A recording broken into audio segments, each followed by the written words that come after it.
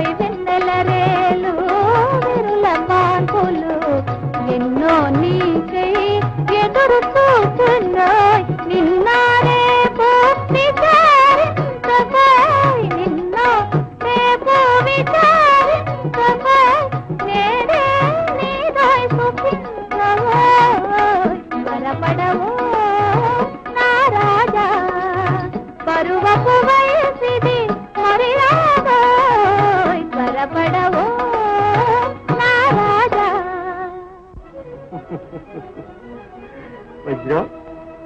నాకేదన్నా నిధి దొరికితే నీ ఒళ్ళంతా వజ్రాలతో కప్పేను బాబు నాగేశ్వరం బాబు. ఓహో రంగన్ గారా? ఎందుకు వచ్చారా వెధవా?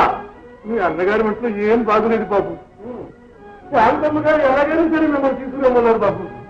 నేనెందుకురా? నేనేమన్నా డాక్టర్నా? అలా అనకండి బాబు. ఏది ఏమైనా స్వయాన మీ అన్నగారు. అన్నా బుద్ధి మాత్రం సున్నా. తాగుబోతుంది వ్యభిచారని నా మీద అడ్డమైన కేసులు బనాయిస్తే తాను జడ్జిగా ఉండి నాకు నాలుగు నెలల శిక్ష విధిస్తాడా అన్నా బాబు సంసారంలో అనే గురవులు ఉంటాయి బాబు ఇలాంటి కష్ట సమయంలో అవన్నీ మర్చిపోండి బాబు. బాబు పెద్ద బాబు గారు బ్రతుకుతారో లేదో నమ్మకం లేదు బాబు. శాంతమ్మూరికి ఏడో మోసం. బాబు కంటిని మంటికి ఏడదారుగా ఏడుస్తున్నారు బాబు. అందరినీ కట్టకట్టుకుని తాము బాబు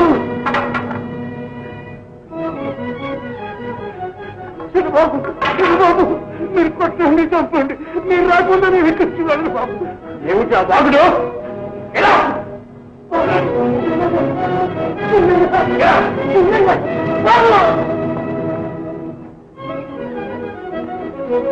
భారత్. ఇదిగో కప్పు. వచ్చింది ఒక ఐడియా. మీ అన్నగారు మీకు విరోధం కావచ్చు కానీ ఆయన గారి డబ్బు మనకేం విరోధం కాదు కదా ఏదో పాపం కష్టపడి నిల్వ చేశాడు. అందుకని మనం అంతా కలిసి మన తెలివితేటలతో దానికి మగ్గలార్పు పెట్టాలి. ఏం బాగారు మా ఆ డబ్బంతా చేతికొస్తే నా ఒళ్ళంతా వజ్రాలతో కప్పేరు మీ బావగారు. ఏమండి? ఇదిరా మోకాళ్ళు అడ్డే వాళ్ళు ఎక్కడన్నా ఉంటారా? అవును. మన బ్రహ్మాండం ఐడియా బ్రహ్మాండంగా ఉంది. మా అన్నగారు చచ్చే వరకు ఎలాగో అక్కడే కళ్ళు మూసుకుని కనిపెట్టుకుంటే. ఆ, మనకు బుర్రలే ఉంటే సత్య మార్గాలు చాలా ఉన్నాయంటావు. అవల్ రైట్గా రంగన్న అమ్మా. రవిని తీసుకెళ్ళి పడుకోబెట్టు. అలాగేనమ్మా. రాదు. ఏమండి? ఎలా ఉందండి ఇప్పుడు? పర్వాలేదు శాంత. అబ్బా ఎంత కంగారు పెట్టారండి. ఆ భగవంతుడు నా ప్రార్థన ఆలకించాడు. ఉండండి ఇప్పుడే వస్తాను.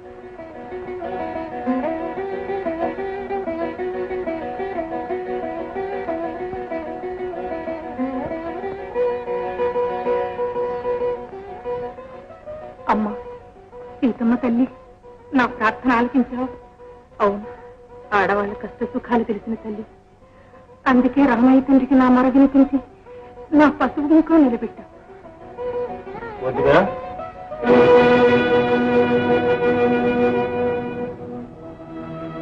వచ్చావా నాయన?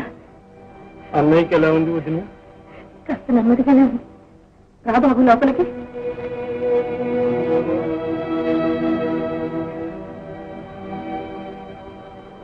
ఏమండి మీ తమ్ముడు నాగేశ్వరరావు వచ్చాడు. అక్కడే ఉండిపోయావే ముందు అవతలికి పంపు నీవు నాకు తమ్ముడవు కావు. నేను నీకు అన్నాను కాను. అవతలికి. పోనీలండి. ఏదో తెలియక చేశాడు. తెలియక చేశాడా?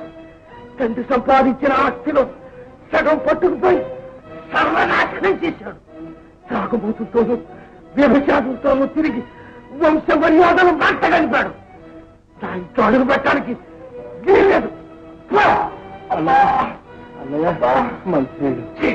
నీ చేత్తో మంచి నీళ్ళు ఇచ్చిన అది విషంతో సమానం గారు ఏమిటిదంతా ఆ పంట బాగా అప్పుడే మర్చిపోయినారా పూర్తిగా విశ్రాంతి తీసుకోవాలని చెప్పలేదు? ఈ బస్సు నా కళ్ళెదుట ఉన్నంతకాలం నాకు శాంతి లేదు. పొమ్మనండి అవతలికి మాధవరావు గారు ఏదేమైనప్పటికీ ఒక్క కడుపును పుట్టిన అన్నదమ్ములు.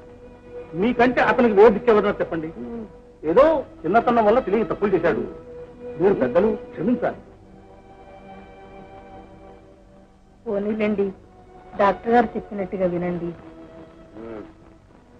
నాగేశ్వరరావు ఇకనైనా బుద్ధి కలిగి ఉండి మీ అన్నగారిని కనిపెట్టుకుంది అలాగే సార్. అన్నైనా తండ్రి అయినా వారేగా ఇంకెవరున్నారు నాకు?